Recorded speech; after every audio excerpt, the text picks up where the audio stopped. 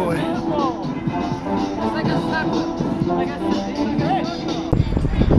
Well, welcome back, viewers. This is James Kalm. So we're gonna run in here at the Allegra La Viola Gallery, 179 East Broadway.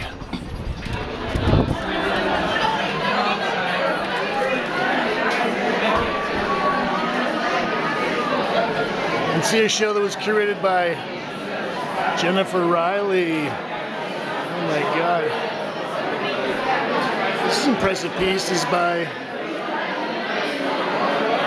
Doreen McCarthy. And it's titled Archimedes Spiral. It's 96 inches tall by 120 inches. And it looks like she's taken a bunch of these pink beach inner tubes, just attached them into a never-ending spiral. Hey, look at that. James Esper.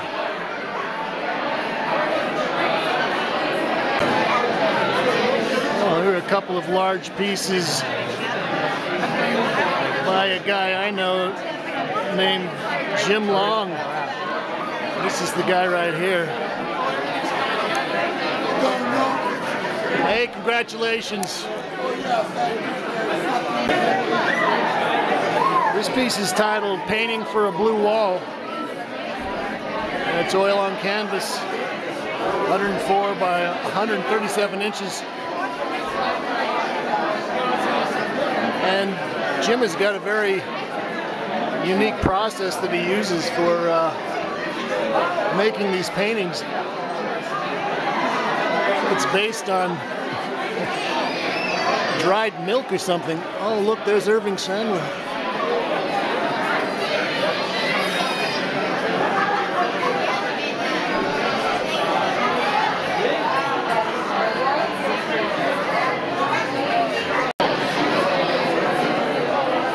Well, I think the premise behind the show is that upstairs we've got some large scale work and then downstairs we've got the Piccolini, the small work.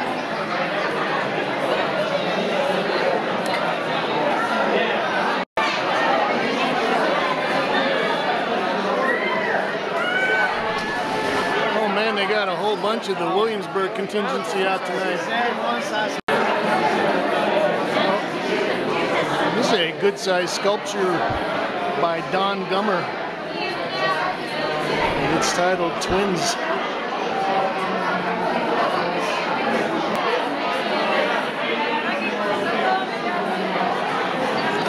It's painted aluminum.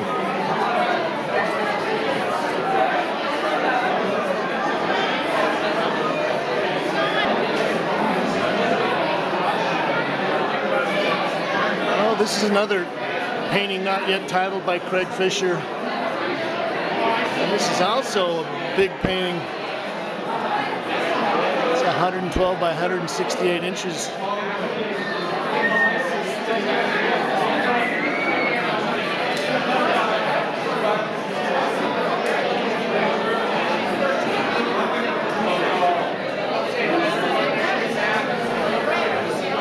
It's also acrylic on raw canvas.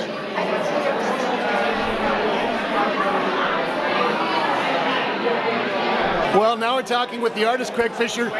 So tell us a little bit about your painting. You know, I was saying it, a lot of it relates to the New York School because of the scale.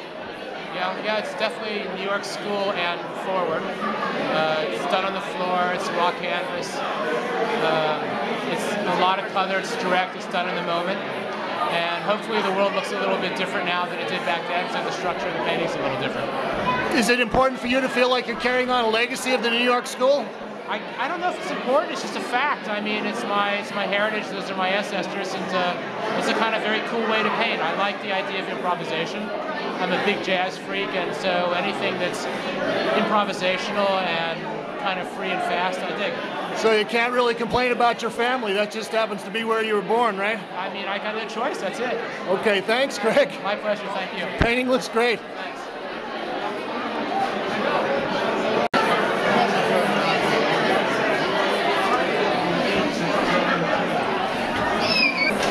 Going to uh, look at the Piccolini end of things down here. This is a painting by David Brody. It's a well-known Williamsburg artist. This piece is by Craig Olson. He's a, also a writer for the Brooklyn Rail. It's titled Witch Song.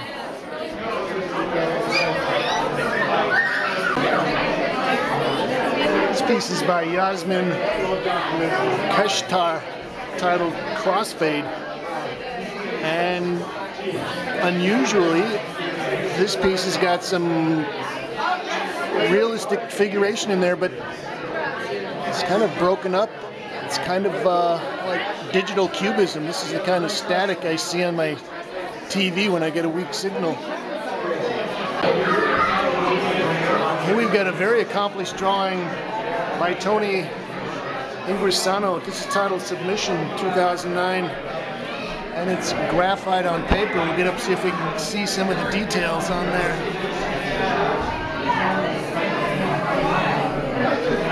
It's a lot of time grinding away with your extra sharp pencil there. We've got some more pieces here by Craig Olson. It's kind of nice, a trapezoidal shape.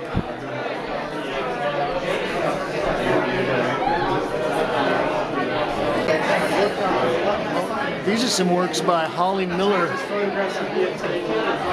And these are acrylic and thread on canvas. She's drawing and breaking up her spaces with the thread. Oh, I kind of like that embossed quality of that area there. Well, now we're talking to the curator. Jennifer Riley, you want to give us a couple of uh, thoughts about your ideas for the show? Well, sure. Um, I wanted to. I wanted to first give these large works an opportunity to be seen because I had a feeling that they weren't being seen. A lot of artists make really big work that gets put away. Hidden in the studio in somewhere. The studio, exactly. And I just happened to have a chance to get into several of these artists' studios. And um, but when I saw Jim Long's work in his studio just after I hatched the idea for seeing the new installation of the Imi Knoebels and Dia recently last winter, Right. it, it just occurred to me that monumental scale is something that's missing a little bit here in the gallery scene. If it doesn't have, well, I'm not going to go into that other thing, but to, to do a Right. We know marketing, marketing uh, initiatives and things. And how about the uh, the smaller scale stuff? I think the contrast is uh, is a very interesting thing that you're playing with there. Yeah. Well, what I, I thought it would be really interesting to ask the people in the upstairs show to get into a conversation with some of the smaller scale works from younger contemporaries that I had met. Thought were following a similar kind of working along the same seam or mining a similar vein, either philosophically or, or technically. And so I asked around and looked around and saw all of these um, great opportunities to make links between large works, small works, and, and um, process. Okay. it's pretty noisy in here, Jennifer, so I'm gonna let you go back to your adoring crowds. Thank you. Thank you. Thank you for coming. Thank you so